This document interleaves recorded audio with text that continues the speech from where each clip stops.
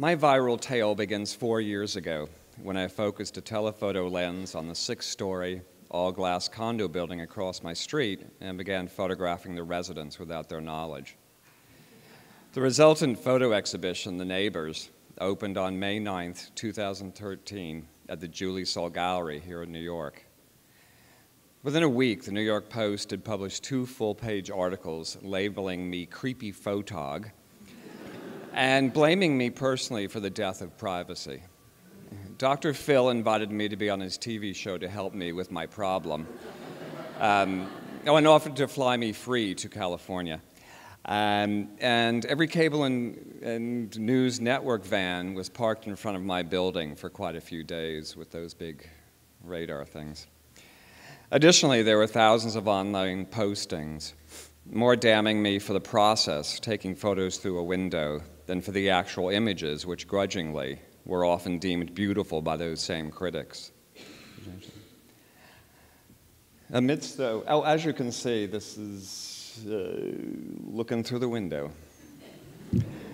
Amidst this publicity onslaught and its direct result of it, one of the photograph subjects brought a privacy violation lawsuit against me, even though none of the people in the images are identifiable. The lawsuit was decided in my favor in 2013, but the plaintiffs appealed the decision, and we spent another year and a half in appellate court.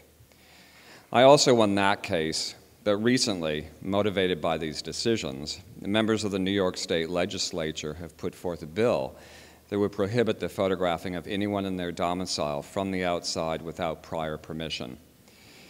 I, by the way, am the uh, poster child that they're using as an example of what not to do. Um, even accidental, ca accidental captures would be misdemeanors under this bill.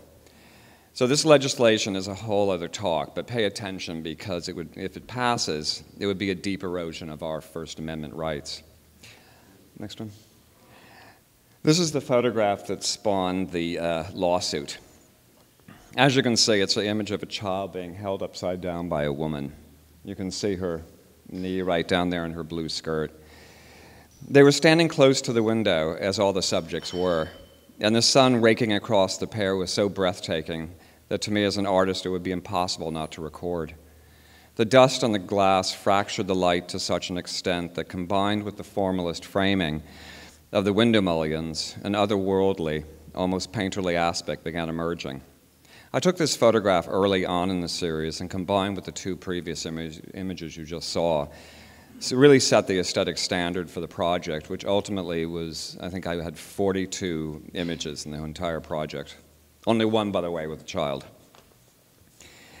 Um, prior to the Neighbors exhibition opening, this image was reproduced extensively online and in print until a court order prohibited me from showing it during the original trial period.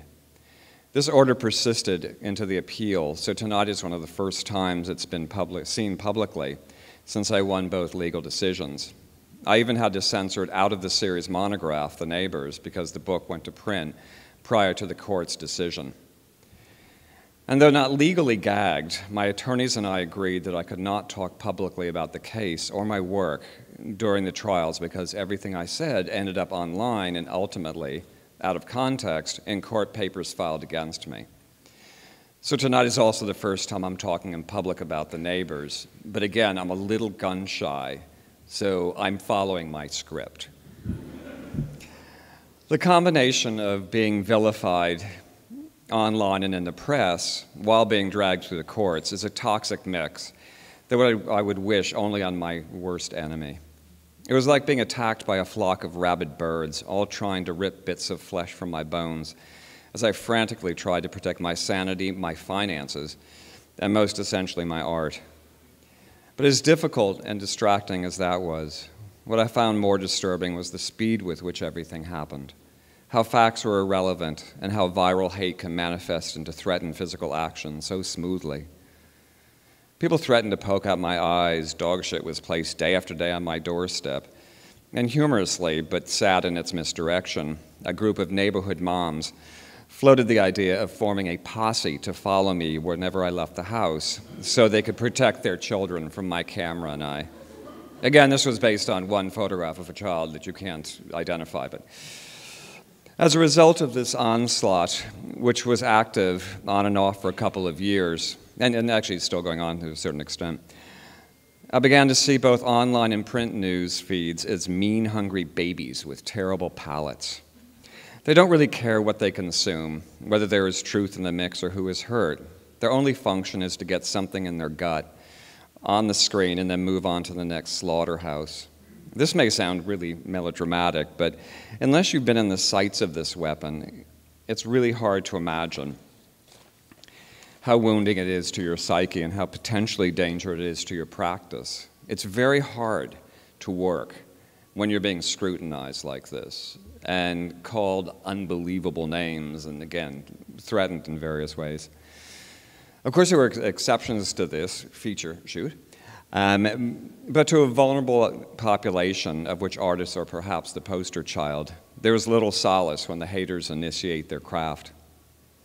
That said, and despite how powerless I felt at times, the experience of being caught in that whirlpool is survivable. Time helps, but also tuning it out. It sounds simplistic, but not reading negative posts and comments can be essential. Attempting to answer them or argue your case is not viable, as it just galvanizes the authors into pushing even further into negativity. It's whack a mole with a stacked deck. And I always remember, and I say this to everybody younger than me, which is probably everyone in this room, um, that if your work has merit, it will survive. What eventually happened to me is that the off issue chatter eroded enough to um, allow the critical voice of the art community to be heard. This is the arena in which collectors and art institutions will view your work, not through likes, dislikes, thumbs up, and thumbs down. So since this work has been able to be seen clearly, it's, been, it's gone into the collections of many museums and, and many collectors and you know, kind of around the world. So that's the upside. And one final thing. Uh, during the course of my legal woes, the plaintiffs offered settlement terms, all of which greatly compromised the showing of my work in some form. And as much as I would have loved to, have, to escape that never ending legal process and the accompanying online attention, I realized I couldn't settle.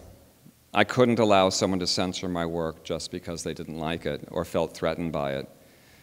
And also, I kept thinking, what if this happened to an artist without the support or means to fight such a long battle?